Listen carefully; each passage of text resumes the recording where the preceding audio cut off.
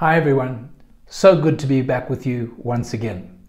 I would like to spend some time talking on the subject of prayer, and so for the next few broadcasts, that's what I want to focus on. You know, it's vital, it's so important for every Christian, for every believer to pray. And yet, many Christians find it hard to pray, difficult to pray. Prayer is simply talking to God. It's you expressing your heart, your concerns, anxieties, your plans, your purposes, those things that worry you, those things that take up your, your life and your mind and thinking, your troubles, whatever it is. That's what prayer is all about talking to God. He is your heavenly Father. He wants to hear the voice of you, his son, his daughter. I'm often reminded of God in the book of Genesis who would walk in the cool of the day and he would meet with Adam and Eve and they would talk, they would commune, they would have fellowship, they would share. It must have been an incredible experience.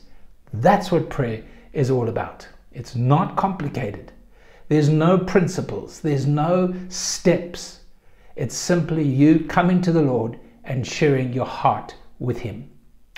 You know, in Luke chapter 18, Jesus spoke a parable and he said that men always ought to pray and not lose heart. One version says, not grow faint.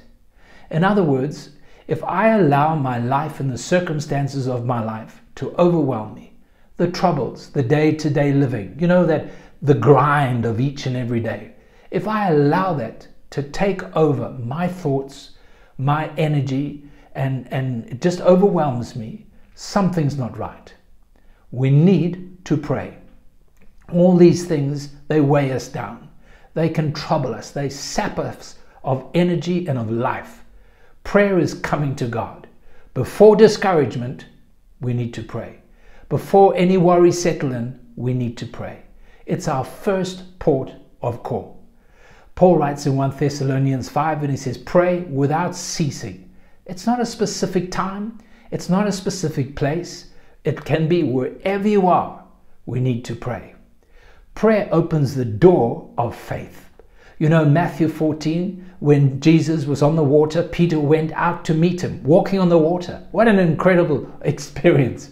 But Peter was overwhelmed.